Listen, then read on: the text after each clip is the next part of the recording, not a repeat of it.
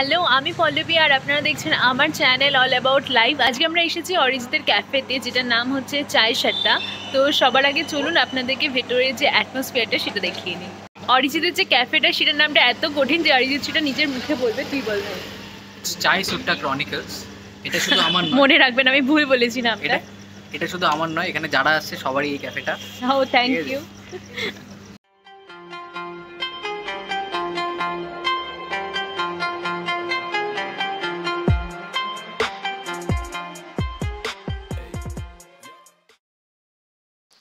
এটা হচ্ছে ওদের এন্ট্রেন্সটা এখানে একটা দোলনা আছে। আর এখান দিয়ে ঢুকতে হবে। এটা হচ্ছে, আমি খুব একটা ভালো করে দেখাতে পারছি না, কারণ জায়গাটা অন্ধকার। আশা করি ভেতরে অনেকটা লাইট থাকবে। আমরা ঢুকে গেছি ভেতরে, এখানে কাউন্টারটা আছে। আমরা এখানেই বসবো, কিন্তু ভেতরে আরও কতগুলো রুম আছে, যেগুলো পরে দেখাবো। আগে আমি এই জায়গাটা আপনাদেরকে দেখিয়ে দিই। ভেতরে আমার মনে হয় বেশি সিটিং অ্যারেঞ্জমেন্ট আছে এখানের থেকে। অরিজিৎ বলল, ওদের মেনুর সব থেকে স্পেশাল হচ্ছে ওদের এই স্পেশাল টিগুলো বিভিন্ন ধরনের অর্গ্যানিক টি আছে। এছাড়াও স্ন্যাক্স মকটেল অনেক কিছু আছে। মেনুটা আপনারা দেখে নিন। তাহলে দামটাও আমার একদমই ঠিকঠাক মনে হচ্ছে। আপনারাও জানাবেন যে দামগুলো আপনাদের কীরকম লাগছে। আমার তো একদমই ঠিকঠাক মনে হচ্ছে দামগুলো। এটা হচ্ছে পুরো ওদের মেনুটা এর বাইরে ওদের যে পেস্ট্রি সেটা আলাদা।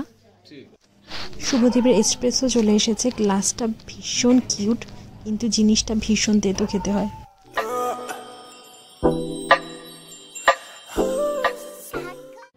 চলে এসেছে আমার মিষ্টি মিষ্টি কিটক্যাট শেকটা, কিন্তু ওরা একটা ভয়ঙ্কর কাপে দিয়েছে মানে গ্লাসে দিয়েছে, যেটা হচ্ছে কঙ্কালের মুখ। এত সুন্দর করে রেস্টুরেন্টে সাজিয়েছে ওরা, দেখতে ভীষণ গ্ল্যামারাস লাগছে। এখানে ওদের সব পেস্ট্রি রাখা, যেটা মেনুতে ছিল না। আরও একটা জিনিস খুব ভালো লাগল, ওরা যে স্ট্রটা ইউজ করছে, সেটা পুরোটা বাঁশের তৈরি। এই জিনিসটা ভীষণ ভালো লাগল। এছাড়াও অ্যাটমসফিয়ারটাও ভীষণ সুন্দর। আর ডেকোরেশনটা তো দেখতেই পাচ্ছেন।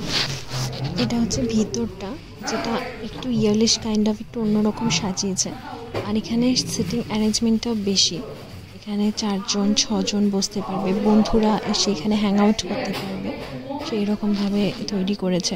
এবং সব থেকে ওদের দেয়ালের ডেকোরেশনগুলো, লাইটের কাজ এত সুন্দর ক্যাফেটাকে সাজিয়েছে যে একদম অন্যরকম লাগছে। আর ফটোগ্রাফির জন্য তো আমার মনে হয় ভীষণ সুন্দর হবে।